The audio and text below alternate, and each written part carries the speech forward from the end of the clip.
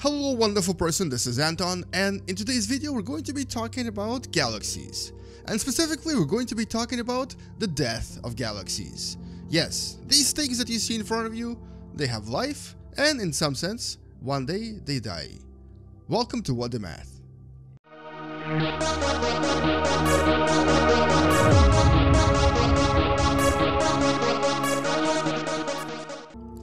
Okay, well, we're not really talking about the death death. Like, it's this thing right here doesn't really have life, and yes, it's not really going to die in the same sense that one day all of the people on Earth will die, but it does have something akin to existence. So, galaxies can be divided into really two types the blue cloud and the red sequence.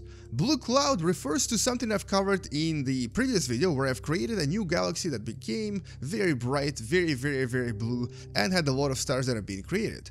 A red sequence, however, would be something similar to what you see right here. So this is a miniature galaxy that contains nothing but red dwarfs that are still alive and white dwarfs that are basically stars that used to be like our sun and lived out their life and became really really tiny uh, but very dense pieces of matter. And in the middle you have the supermassive black hole. These types of galaxies are basically in a sense dead, because no new stars have been created, and because these galaxies one day will become very dim, very dark, and possibly completely disappear. Now, we don't really call them dead though, and we don't call this dying, but we call this quenching. So this galaxy quenching is essentially the kind of a period in galaxy's life when no more new stars have been created, and where all of the stars are basically kind of slowly living out their lives, and all of this one day will disappear. But galaxies are unlike life on our planet can actually resurrect and start producing stars again. Now let's talk a little bit more about all of this by creating a few galaxies and just talking in general about the idea of galaxy quenching or I guess galaxy death and the idea of resurrecting galaxies uh, by various means. So first, let's actually talk about how this whole quenching thing happens. Now, one of the most common ways for quenching to occur is when, um, a bigger galaxy or a more active galaxy, like for example this one right here, interacts with a smaller or less active galaxy and essentially neutralizes its hydrogen. There's uh, several ways of doing that. One of them is by essentially and let me see if I can actually recreate that here. Essentially, um, sucking out all of the hydrogen from the other galaxy. We're gonna see if we can create uh, this effect by basically making this particular black hole ridiculously massive and essentially uh, making all of the hydrogen kind of suck into this other galaxy. Okay, well, that's not exactly what I was trying to create. This is a little bit more extreme, but you get the idea. So when the hydrogen from the other galaxy disappears, um, the older or the smaller galaxy will not be able to produce any more stars. The other thing that can happen is a galaxy that has um, a nucleus that basically has these two super, super, super um, active jets that propel a lot of energy toward um, these two locations.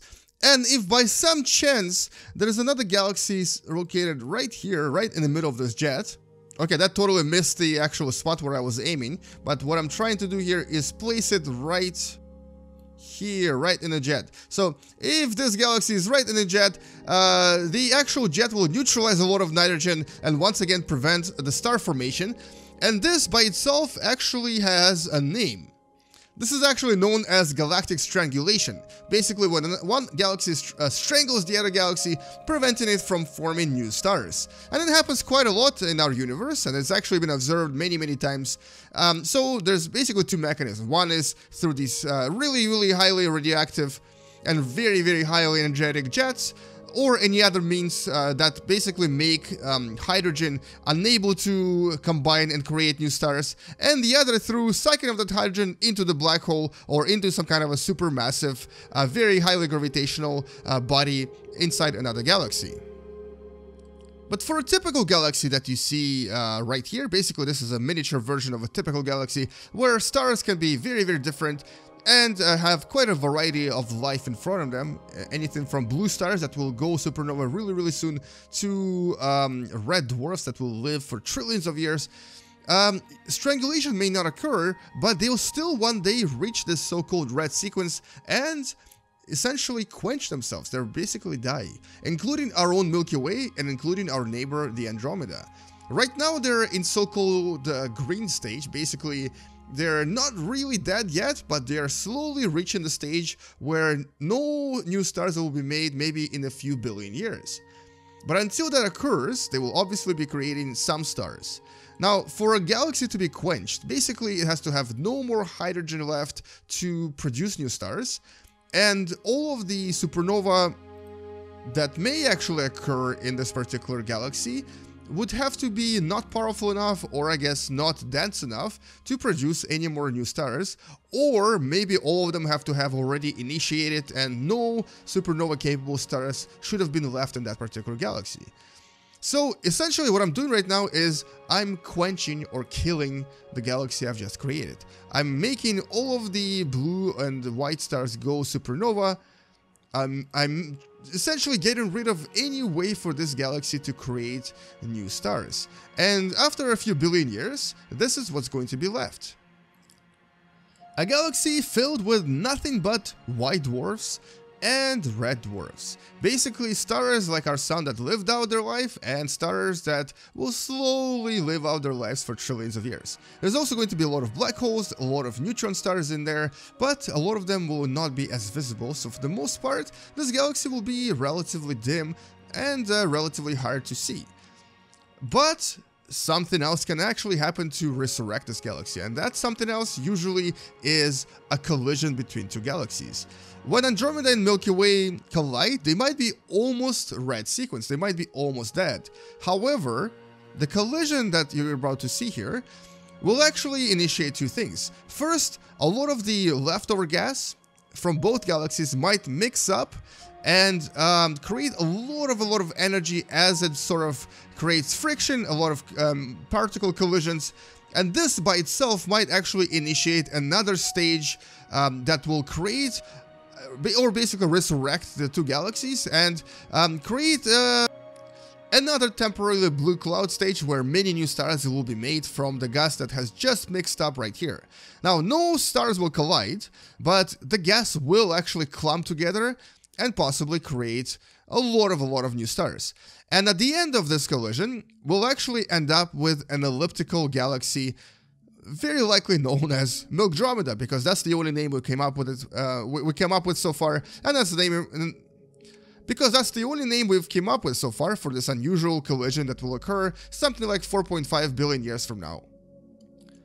But of course, until that happens, both galaxies, both Andromeda and the Milky Way, will essentially use up all of their uh, stellar gas, uh, or interstellar gas that is, and create all of the possible new stars that they currently are capable of creating. And once that's done, both of them will very very likely end up as red sequence um, galaxies that will essentially look very dim, have no new star formation, and for the most part will slowly dim away into non-existence.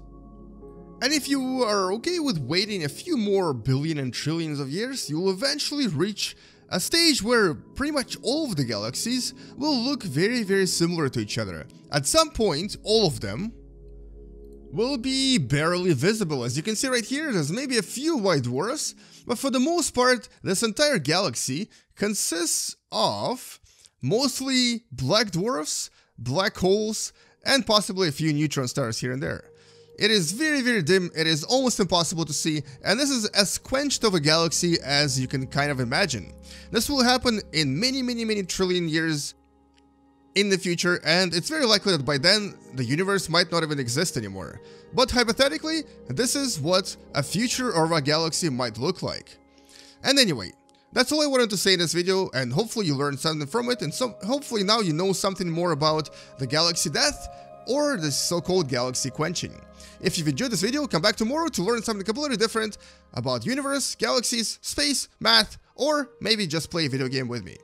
I'll see you guys tomorrow, I'll see you in the next video, space out, thank you, and as always, bye bye. And let's actually go ahead and change these last two white dwarfs into black dwarfs. And here we go. Completely dark, close, close, almost completely invisible galaxy that has no name. But when you really... But when you look really closely, you'll realize there's actually quite a lot of things going on here.